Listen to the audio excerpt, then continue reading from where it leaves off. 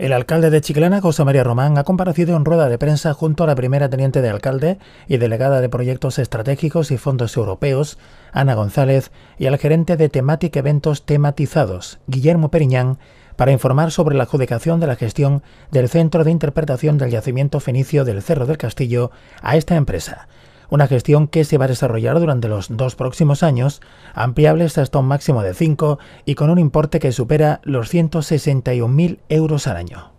El regidor chiclanero ha indicado que además de la gestión del centro estipulada en la licitación, la empresa Thematic se compromete a la redacción de un proyecto general de investigación arqueológica valorado en 16.500 euros, entre otras cuestiones. Es muy grato informar que hace unos días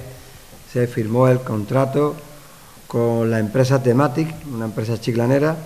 que es la empresa que ha resultado adjudicataria para la gestión y la puesta en marcha del yacimiento fenicio Nueva Gadeira. Es un, bueno, para nosotros es un proyecto vital, fundamental, dentro del contexto de explicar la ciudad, de cómo, de cuándo se origina Chiclana, hace 3.000 años, una ciudad, una chiclana fenicia que desconocíamos y con todo lo que supone ese yacimiento en el centro del municipio y además pues con esa mirada hacia como una ayuda más que supone también para el turismo, más allá del turismo de sol y playa, ¿no? Por tanto, el yacimiento fenicio es muy importante y este centro de interpretación es muy importante para nosotros el que podamos culminar la obra, que además que hayamos podido comprar una, una nueva vivienda para ampliar el yacimiento y que, como decía, hayamos firmado ya el contrato y encima con una empresa de Chilana. Bien, pues este contrato se firma por un periodo inicial de dos años hasta un máximo de cinco años y mm, con un importe de 161.232 euros al año y además va a tener eh, siete personas por parte de la empresa, que son dos arqueólogos, arqueólogos y arqueólogas,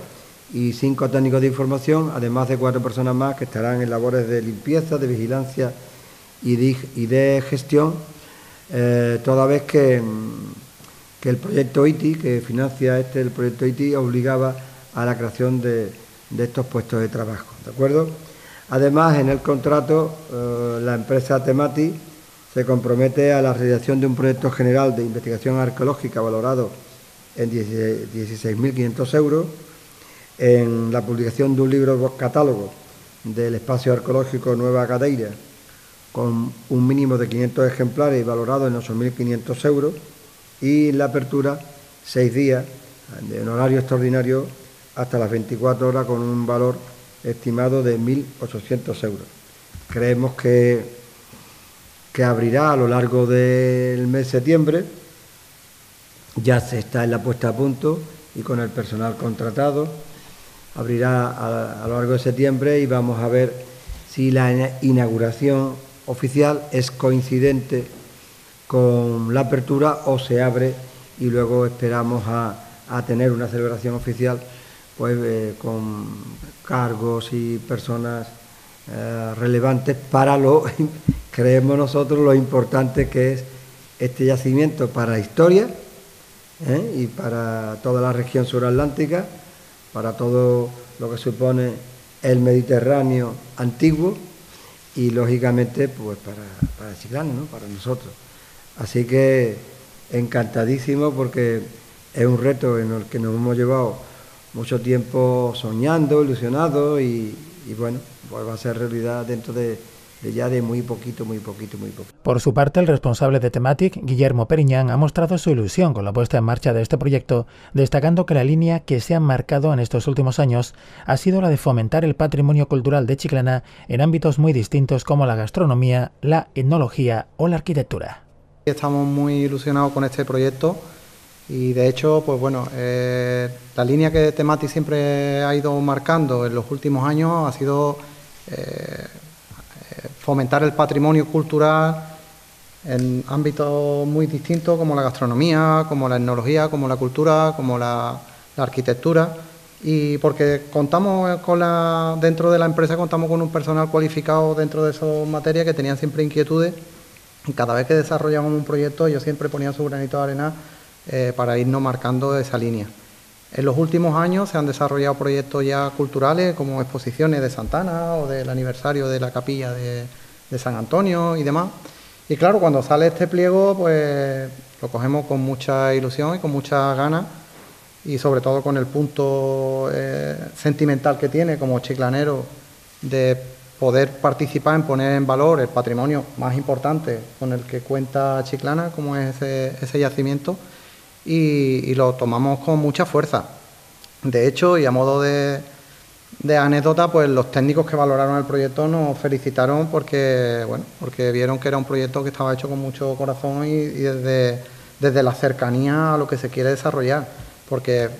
cogemos el testigo claro que el ayuntamiento nos marca con respecto a lo que se quiere conseguir con aquello, que va mucho más allá de poner en valor el yacimiento que lo que se ha encontrado, sino de eh, fomentar toda la zona del castillo, del barrio nuevo y de todo aquello. Y creo que desde temática eventos estamos cualificados totalmente tanto para llevar la interpretación del, centro como para poder crear eventos culturales y dinamizador de toda la zona aquella. Y de hecho, en el pliego, aparte de, las mejoras que están estipuladas, eh, nosotros a modo especial, pues planteábamos eso, planteábamos que vamos a ser los primeros que vamos a estar allí en la zona y que vamos a intentar recoger por parte de los vecinos, por parte de la ciudadanía, por parte de, los visitantes que lleguen, todas las inquietudes que tengan de cómo mejorar aquella zona y cómo poder ir fomentando aquella zona para que, sea un punto turístico importante, que es lo que se, pretende por parte del ayuntamiento crear en aquella zona.